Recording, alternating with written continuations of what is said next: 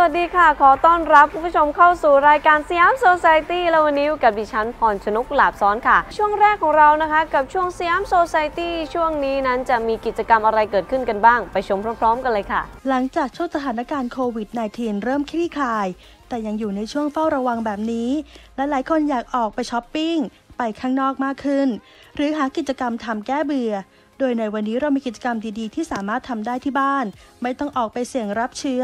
นั่นคือโครงการ Training at Home โดยการกีฬาแห่งประเทศไทย โดยมีเหล่านักกีฬา นักแสดง และศิลปิน มาร่วมเป็นเทรนนิ่งออกกำลังกายให้ทางสื่อโซเชียล โดยตอนนี้ออกมาให้ชมกันทางช่องทางต่างๆ 10 EP แล้วล่ะค่ะค่ะอยู่บ้านคนเดียวก็เล่นวอลเลย์ได้นะคะเราก็น็อกฝาผนังไปเรื่อยๆ เทคนิคก็คือคือถ้าเกิดใช้ 2 แขนมันก็จะแบบ basic สำหรับนักกีฬาไปอะแต่ถ้าเกิดจะ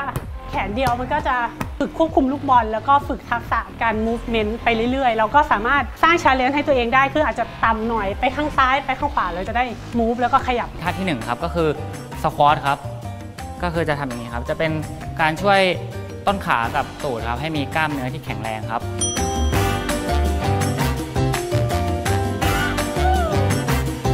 ท่าที่ 2 ก็จะเป็นสควอตลงปิดพื้นครับ แล้วขึ้นมากระโดดครับ อันนี้ก็จะได้ออกกำลังกายเบิร์นทุกส่วนครับ ก็อันนี้ก็จะเป็น 2 ท่าง่าย ๆ ที่ผมอยากจะแนะนำให้ทุกคนได้ลองทำตามกันครับ jumping jack ก็คือท่ากระโดดตบนั่นเองครับ ให้กระโดดแยกขาออก ยกแขนขึ้นเหนือศีรษะ ควรย่อเข่าลงเล็กน้อย เพื่อรองรับแรงกระแทกครับ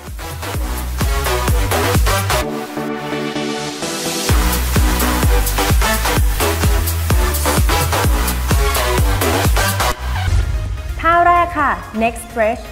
ค่อยๆ เอามือจับไปที่ศีรษะ เอียงคอลงด้านข้างเล็กน้อย ให้รู้สึกตึงที่เส้นบริเวณต้นคอ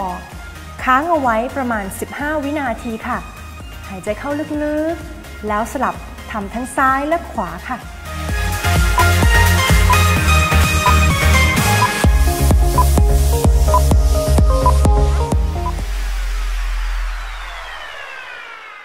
บอกได้เลยนะคะว่ากิจกรรมที่เกิดขึ้นโอ้โหน่าสนใจและมีสาระความรู้มากมายเลยค่ะคุณผู้ชมค่ะในช่วงต่อไปของเรานะคะ กับช่วงสยามทูเดย์ช่วงนี้จะมีสาระประโยชน์อะไรมาฝากกันนั้น ไปชมกันเลย กลายเป็นไลฟ์สไตล์ของคนยุคใหม่ ที่หันมานิยมเทรนด์การทำอาหารมากขึ้น ซึ่งจากข้อมูลพบว่า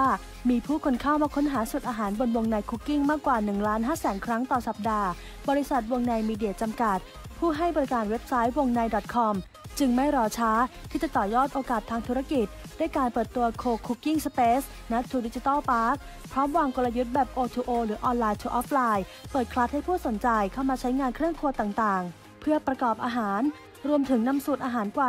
16,000 สูตร บนวงในคุกกิ้ง มาสอนโดยเชฟผู้เชี่ยวชาญทุกวันค่ะ ครับก็วงใน Co Cooking Space นะครับ แล้วก็หวังว่ามันจะเป็น Co Cooking Space แห่งแรกของเมืองไทยนะครับ ที่ จะช่วย Connect คนในโลกออฟไลน์ที่ Enjoy การทำอาหารนะครับเข้ามาร่วมทำอาหารด้วยกันที่ Co Cooking Space แห่งนี้นะครับโดยที่วงในของเราเองเนี่ยก็จะนำเมนูอาหารนะครับที่ฮิตในโลกออนไลน์นะครับในเว็บไซต์ของเราเองก็ดีในโซเชียลมีเดียก็ดีเอามาสอนเป็นคลาสเรียนในโลกออฟไลน์ ซึ่งคนก็สามารถมาเรียนรู้ในโลกออฟไลน์ได้มาสมัครเรียนในคลาสของเราได้และที่มากไปกว่านั้นก็คือ นอกจากคลาสเรียนแล้วเนี่ยคนยังสามารถเข้ามาใช้พื้นที่ของเราได้นะครับโดยเป็นสมาชิกเข้ามาใช้พื้นที่ได้เลยสำหรับคนที่ไม่มีอุปกรณ์ที่บ้าน เช่น เตาอบเอยเครื่องซูวีอะไรเองก็ตามเนี่ยแล้วอยากลองทำอาหารที่มันล้ำสมัยหรือใช้อุปกรณ์ยากๆเหล่านี้เนี่ยสามารถมาทดลองทำได้ที่วงในโคคุกกิ้งสเปซนะครับก็เป็นพื้นที่ที่เปิดให้ทุกคนเข้ามาร่วมทำอาหารด้วยกันนะครับผมว่าจุดเด่นของเราสุดๆเลยคืออ มันทุกวันนี้มันมีคอนเซปต์ของ co- co-working space ค่อนข้างเยอะ คือสำหรับคนที่ไม่ได้มีออฟฟิศประจำมานั่งทำงานมีอินเทอร์เน็ตที่ดีอะไรอย่างนี้เป็นต้น เราก็คิดว่าเป็นเป็นเรื่องเดียวกันสำหรับคนทำอาหาร คือสำหรับคนที่ที่บ้านรักการทำอาหาร แต่ครัวที่บ้านอาจจะไม่ได้ใหญ่นะเรามีครัวที่เป็น professional grade นะครับ มีเคาน์เตอร์ครัวขนาดใหญ่ มีอุปกรณ์ต่างๆ มีสูตรอาหารที่น่าสนใจจากที่มัน trendy จากโลกอินเทอร์เน็ตเนี่ยมาทำให้ทุกให้ทุกๆคนได้มาทดลองทำกันนะครับเพียงแค่เป็นสมาชิกของ co-cooking space เท่านั้น ครับผมก็จริงๆ อันนี้เป็นครั้งที่ 2 แล้วที่ผมมานะครับครั้งแรกก็คือเคยเคยมาสอนแล้วนะครับ ก็มาครั้งแรกก็ตื่นเต้นเพราะว่าโดยปกติเนี่ยผมก็สอนมาหลายที่นะครับ แต่ว่าเพิ่งเคยเจอที่นี่นะครับที่อุปกรณ์เยอะพร้อมครบแล้วครับ แล้วก็ใหม่ ก็คือมันมีทุกอย่างนะครับในในแง่ของคนสอนนะครับ ก็คือเวลาคนสอนเนี่ยก็อยากจะให้มีอุปกรณ์ที่พร้อมที่สุดมีสเตชันที่ทำงานสะดวกสบายออกแบบมาเขาเรียกว่าแบบถูกต้องตามหลักการใช้งานจริง นะครับอันนี้ในแง่ของคนสอนก็คือเห็นแล้วก็มันสอนง่ายนะครับ แล้วก็คนเรียนก็น่าจะสนุกแล้วก็เข้าใจได้ง่ายด้วยครับผมใช่ครับผมเพราะว่าก่อนหน้านี้บางทีเคยไปสอนหลาย ๆ ที่นะครับก็จะมีปัญหาหลาย ๆ ที่นะครับเกี่ยวกับอุปกรณ์การออกแบบอะไรแบบนี้นะครับ แต่ที่นี่เนี่ยมีพร้อมทุกอย่างเลยครับผมวงใน Co-Cooking Space ถือเป็นอีกหนึ่งรูปแบบธุรกิจที่สอดรับกับชีวิตของคนยุคดิจิทัล ที่คนทำธุรกิจออนไลน์จำเป็นต้องตามเทรนด์ให้ทันอยู่ตลอดเวลาค่ะ สาระประโยชน์ที่เรานำมาฝากผู้ชมนี้ คุณผู้ชมก็สามารถที่จะนำกลับไปใช้เองที่บ้านได้นะคะ ในช่วงต่อไปของเราค่ะกับช่วงสีสันสยาม ช่วงนี้จะมีสีสันคลิปเด็ดๆฮาๆอะไร มาอัปเดตกันบ้างนั้น ไปอัปเดตพร้อม ๆ กันเลยค่ะ สีสันสยามในวันนี้จะพามาดูเหล่าคนเหงาๆเขาจะเหงาขนาดไหนไปดูกันเลยค่ะ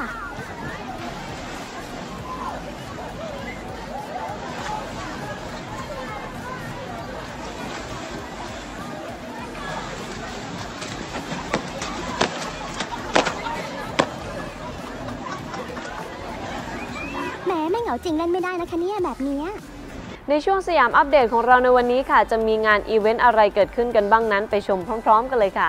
เริ่มกันที่ Ultimate Film ฟิล์มเซรามิกติดรถยนต์ ผู้นำเข้าและจัดจำหน่ายฟิล์มกรองแสงรถยนต์เซรามิก และฟิล์มเซรามิกติดอาคาร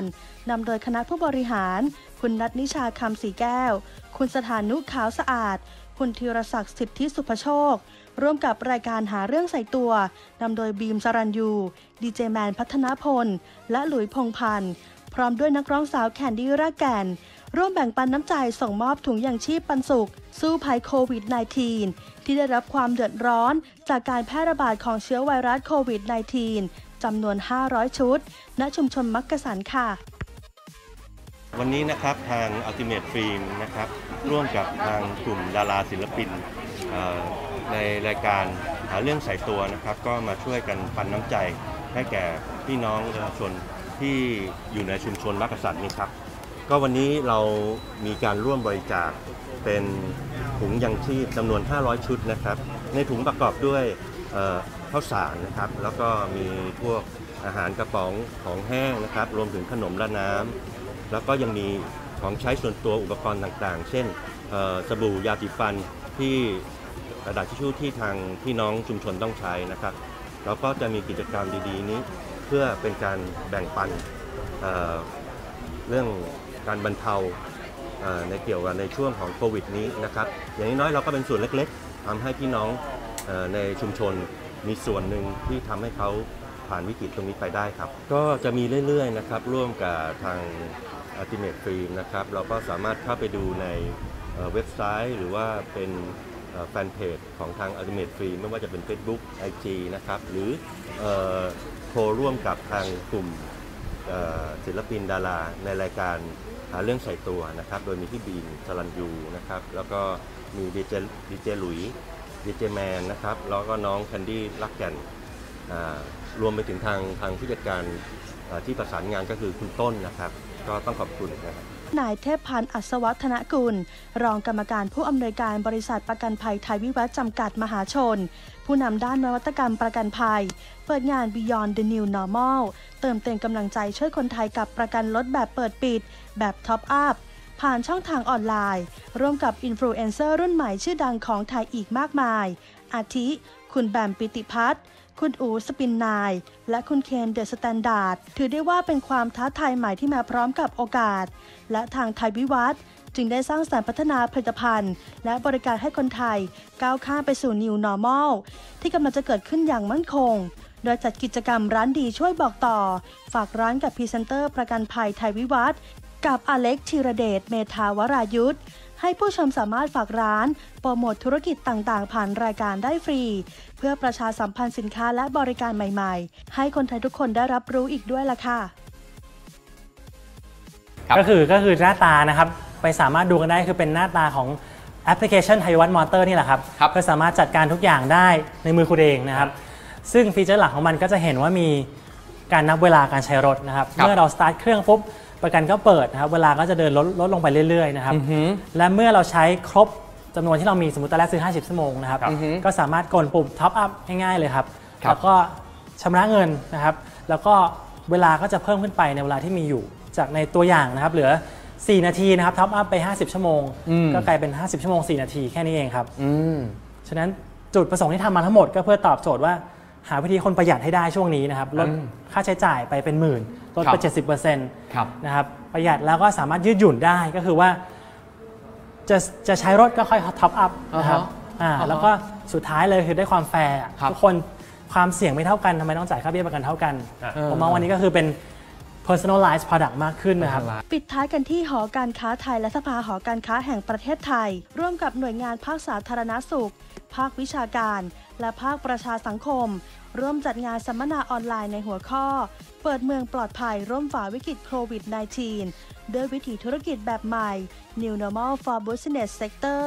พร้อมระดมผู้เชี่ยวชาญในแต่ละภาคส่วน ร่วมระดมแนวคิด ได้แก่ New Normal ธุรกิจไทยฝ่าวิกฤตโควิด โดยนายกลินสารสิน ประธานกรรมการหอการค้าไทย และสภาหอการค้าแห่งประเทศไทย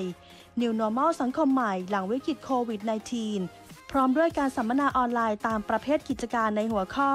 มาตรการแบบไหนถูกใจประชาชน โดยมีกิจการร้านค้าต้นแบบในแต่ละประเภท ร่วมโชว์แนวคิด และกลยุทธ์ พร้อมตอบทุกข้อสงสัยจากนักวิชาการอีกด้วยละค่ะครับซึ่งตรงส่วนนี้ครับเราก็เลยได้ได้ทำไอตัวแพลตฟอร์มง่ายๆขึ้นมาที่เรียกว่า thai care เป็นแพลตฟอร์มที่ให้ความรู้ถ้าเข้าไปในนั้นจะเห็นนะครับเรามีการเอาข้อมูลเรื่องของการที่จะต้องเปิดในกิจการต่างๆ ทั้งหมด 12 กิจการเนี่ยออกมาทำเป็นอินโฟกราฟิกง่ายๆ คนไหนที่สนใจเนี่ยสามารถเอาไปปริ้นแล้วไปแปะให้ประชาชนดูได้เลยไปสื่อสารต่อนะครับ ตรงนี้เราทำโดยที่เราบอกว่าไม่ต้องมาขอออนุญาตเลย สามารถเอาไปปริ้นไปเผยแพร่ได้เต็มที่เลยนะครับ แล้วเดี๋ยวเราก็จะทำต่อสำหรับที่จะเปิดในเฟส3หรือเฟส4ต่อไปอพอหลังจากนั้นเสร็จเนี่ยเราก็ การให้ความรู้เสร็จเนี่ยเราก็ยังจะเราคิดว่าการที่จะร้านค้าจะทำได้ดีต่อเนื่องเนี่ยจะต้องมีการที่จะต้องมีการปรับปรุงอย่างต่อเนื่อง ต้องฟังความเห็นของลูกค้าเราก็ช่วยทำระบบไทยดัดแคร์ง่ายๆนะครับซึ่งลูกค้าที่เข้าไปใช้งานเนี่ยก็สามารถจะเอามาสื่อเอามีคอมเมนต์อยากจะให้ข้อแนะนำกับร้านค้า